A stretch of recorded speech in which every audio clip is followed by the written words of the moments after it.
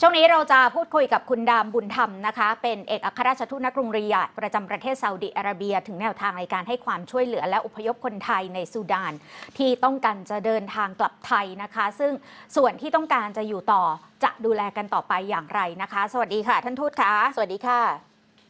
ครับ สวัสดีครับ คุณจิรชาตาและคุณพรวดีครับ ค่ะสำหรับรถแรก 82 คนที่จะเดินทางมาในคืนนี้ที่จะถึงไทยนะคะ ตอนนี้การเดินทางดูแนวโน้มแล้วน่าจะราบรื่นไหมคะ มีปัญหาอุปสรรคอะไรบ้างไหมคะก็โดยโดยโดยรวมน่าจะราบรื่นนะครับ แต่ว่าเอ่อจำนวนที่จะเดินทางกลับไปเนี่ยเอ่อเอ่อตอนนี้เป็น 78 คนค่ะนะฮะเพราะว่ามีอีกเอ่อสี่คนที่ที่ไม่ได้ประสงค์จะเดินทางกลับ เนื่องจากว่าเป็นครอบครัว ของไทยซูดานนะนะครับ แล้วก็เอ่อพอดีมีเอ่อเข้าใจว่าเอ่อมีถิ่นพำนักที่ที่ซาอุดิอาระเบียด้วยอ๋อแล้วก็มีค่ะวีซ่าอะไรต่างๆก็เลยก็เลยก็เลยไม่ได้ได้จะไม่ได้ขึ้นเครื่องบินกลับไปค่ะก็โดยโดยภาพรวมก็ก็เอ่อเรียบร้อยดีนะครับ ก็เอ่อก็มี อุปสรรคติดขัดบ้างเล็กน้อยนะครับ จะไม่ถือว่าเป็นอุปสรรคสำคัญนะฮะก็จะค่ะเป็นเรื่องที่เราควบคุมไม่ได้ ก็เป็นเรื่องความล่าช้าของเรือบ้างอืมอะไรบ้างก็ต้องเข้าใจว่ามันเป็นสถานการณ์ไม่ปกตินะครับค่ะค่ะแต่ก็ทางฝ่ายซาอุดีก็เอ่อรัฐบาลซาอุดีก็ได้ให้ความร่วมมือกับเราด้วยดีนะให้ความเอื้อเฟื้อนะครับจัดเรือให้นะฮะจัดโรงแรมที่พักให้กับเอ่ออืมของคนคนของเราอะนะครับ อย่างดีนะครับ แล้วก็ให้เอ่อความร่วมมือกับทางกระ ทรวงการต่างประเทศกับทางสถานเอกอัครราชทูตแล้วก็สถานกงสุลใหญ่ของเราที่ที่ค่ะเจ็ดด้านนะฮะค่ะเอ่อได้เป็นอย่างดีเลยนะครับ ก็ค่ะโดยโดยภาพรวมก็ก็เรียบร้อยนะฮะเอ่อค่ะก็ก็เรียบร้อยดีครับเมื่อวานนี้ก็ได้เจ้าหน้าที่ไอ้คนคนของเราที่ที่ที่ฐานทัพเรือนะฮะที่ค่ะ เจ็ดด้าแล้วก็พามาที่พักนะฮะแล้ววันนี้เนี่ยก็ อีกประมาณครึ่งชั่วโมงเนี่ยก็จะไปส่งคณะเนี่ยนะฮะที่อืมฐานทัพเรือฐานทัพอากาศของค่ะของเจ็ดด้าเพื่อจะขึ้นเครื่องบินของกองทัพอากาศเราครับกลับค่ะกลับไทย 78 คนครับ ค่ะ 78 คนที่กำลังจะกลับไทยแล้วแต่ว่ายังมีอีกกลุ่มหนึ่งที่ยังอยู่ที่พอร์ตซูดานอยู่กลุ่มนี้จะมาถึงเจดด้าประมาณเวลาเท่าไหร่คะท่านทูตคะ น่าจะถึงพรุ่งนี้ดึกๆ หรือไม่ก็เป็นอีกวันหนึ่งวันที่ 28 ตอนเช้าอะนะฮะค่ะค่ะ เอ่อเพราะว่าได้ทราบว่าตอนนี้ทยอยลงเรือนะฮะที่ที่อืมพอร์ตซูดานแล้วนะฮะค่ะค่ะ เอ่อก็ก็เอ่อข้อข้อมูลในชั้นนี้คือทั้ง 330เอ่อ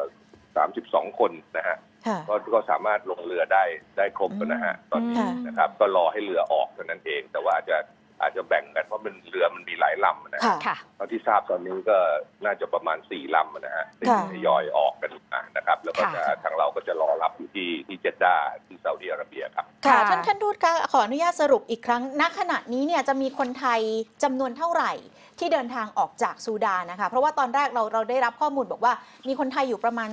250 คนที่อยู่ในซูดาน ณ ขณะนี้เนี่ยครับ มีมีเท่าไหร่ที่จะออกมาแล้วประสงค์จะเดินทางกลับไทยด้วยนะคะ ออกเอ่อในในล็อตแรกเนี่ยนะฮะที่จะออกวันนี้เนี่ย 78 คนครับค่ะ อะเพราะว่าสี่คนอย่างที่เรียนแล้วไม่ได้ไม่ได้ประสงค์จะเดินทางกลับนะฮะตัวค่ะเลขตัวเลข 250 ก็เป็นประมาณนะนะฮะอืมแล้วก็ก็ที่ได้มาแต่ว่าทยอยออกมาค่ะ ล็อตแรกก็คือเมื่อเมื่อวานนี้เนี่ยออกมา80ที่เข้ามาถึงที่เจดด้าเนี่ย82 คนนะค่ะฮะแล้วก็จะเดินทางกลับไทยขึ้นเครื่องวันนี้ 78 คน อันนี้เราจะรออีก 132 คนเนี่ยที่จะที่จะมาทางเรือนะฮะค่ะ เพราะการเดินทางทางเรือไม่ใช้เวลานานนะค่ะประมาณ15ถึง20ชั่วโมง อันนี้ขึ้นโอ้ขึ้นอยู่กับกระแสลมขึ้นอยู่กับอะไรด้วยนะฮะค่ะค่ะมาถึงเนี่ยเราก็จะต้องมาตรวจสอบ ซึ่งตอนนี้เราก็ประสานงานอยู่กับทางสถานเอกอัครราชทูตซาอุดีประจำซูดานซึ่งตั้งตั้งฐานประชาการอยู่ที่ที่ที่เมืองพอร์ตซูดานนะนะครับอืมเอ่อก็ติดต่อกันอยู่ตลอดเพื่อจะเช็คยอดจนเอ่อคนไทยที่อยู่นะครับทำงานกันทั้งคืนนะฮะไม่ไม่ได้ไม่ได้พักเลยค่ะเพราะว่าเราเรา เราต้องเช็คตลอดเวลาว่าว่ามีเท่าไหร่แน่ครับ ค่ะตอนนี้ก็รอรายชื่อครับค่ะ ตอนนี้เอ่อที่พอร์ตซูดานเนี่ยค่ะเขาจัดลำดับหรือว่าให้อนุให้การอนุญาตแต่ละชาติที่ต้องการจะอพยพอย่างไรคะถึงตอนนี้เนี่ยมีข้อกังวลอย่างไรบ้างกับเวลาที่อาจจะเหลื่อมออกไปสำหรับคนไทยกลุ่มที่สองที่ยังอยู่ที่นั่นนะคะแล้วก็ให้ความร่วมมือทุกชาติที่เป็นมิตรประเทศนะครับเอ่อเท่าที่เท่าที่ทราบเมื่อวานนี้ผมไปรับเนี่ยก็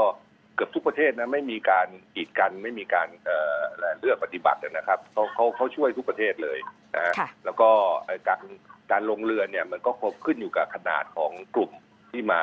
นะฮะเขาก็จะจัดตามความเหมาะสมนะครับ มีเด็กผู้หญิงนะฮะคนที่ต้องการความช่วยเหลือถ้าคนที่แข็งแรงนะฮะก็จะมีความแตกต่างกัน นะอืมในลักษณะของเรือด้วยอย่างเมื่อวานนี้เรือที่นักศึกษาเราเรานั่งมาเนี่ยนะฮะ ส่วนใหญ่เป็นนักศึกษานะครับทั้งหมดเลยอืมก็ว่าได้นะ 78 คนเนี่ยก็เขาก็จัดเป็นเรือครูซให้นะฮะ เป็นเรือแบบอืมแบบครูซชั้นชั้นไม่ไม่ไม่ได้ไม่ได้แบบลักชัวรี่นะฮะค่ะแต่ก็ถือเป็นครูซซึ่งซึ่งซึ่งก็นั่งสบายกว่าเรือรบอะนะฮะอืมมาแบบแบบเออก็นอนมาสบายนะฮะเออแล้วก็มีอาหารการกินบนเรือพอพอสมควรนะฮะตามค่ะอัตภาพเออก็ก็ก็ถือว่าถือว่าถือว่าคิดว่านะฮะตามที่ประเมินคงดูสภาพของ ของคณะแต่ละคณะของของแต่ละชาติด้วยครับ ในการที่จะคัดสรรเรือที่จะทำเป็นบอร์ดต่างๆตามนั้นครับ ค่ะ แล้วแล้วศูนย์ที่ไปตั้งที่พอร์ตซูดานของทางสถานทูตจากที่อ่าซาอุดิอาระเบียที่ไปตั้งที่พอร์ตซูดานตอนนี้ อาหารน้ำมีเพียงพอที่จะดูแลคนไทยที่อยู่ที่นั่นไหมคะมีครับ มีครับ เราเขาก็จัดให้นะฮะเอ่อผมก็ประสานงานให้เขาช่วยจัดให้ แล้วเราก็มีผู้ประสานงานของสถานเอ่อส่วนของกงสุลกิตติมศักดิ์ไทยค่ะนะฮะ ของไทยอะที่ที่ประจำอยู่ที่พอร์ตซูดานด้วยอืมนะครับค่ะก็คอยเอ่ออะไรที่ขาดที่ทางซาอุดีเขายัง supply ไม่พอเราก็ค่ะเราก็ไปซื้อเติมให้นะฮะเราก็เราก็ไปไปดำเนินการ ตอนนี้เราก็เอ่อทางท่านเอกอัครราชทูตเอ่อของเราที่ไคโรนะฮะซึ่งค่ะท่านมีเจตนาคุ้มครองที่ดูแลซูดานค่ะอยู่ท่านก็ประสานงานให้โดยตลอดนะครับค่ะในเรื่องนี้ได้ค่ะเพื่อให้ให้มีอาหารน้ำอย่างเพียงพอสำหรับเด็กทุกคนครับ ค่ะ ท่านทูตประเมินเอาไว้ ค่ะ ท่านทูตประเมินเอาไว้ว่าเราจะต้องใช้เวลาอีกสักมากน้อยขนาดไหนในการดูแลคนไทยจากสุดานที่ต้องการจะเดินทางกลับมาที่ฝั่งเจดดาและกลับมายังไทยได้แล้วเสร็จทั้งหมดนะคะอ๋อทั้งหมดเลยเหรอครับค่ะเอ่อตตอนนี้ที่อยู่3 1 3 2คนนี่ตอนนี้ก็ดูแลอยู่ตอนนี้ขึ้นเรือเรียบร้อยนะฮะค่ะเอ่อก็ก็ก็คิดว่าน่าจะอย่างที่เรียนนะฮะวันที่20 28นะฮะค่ะ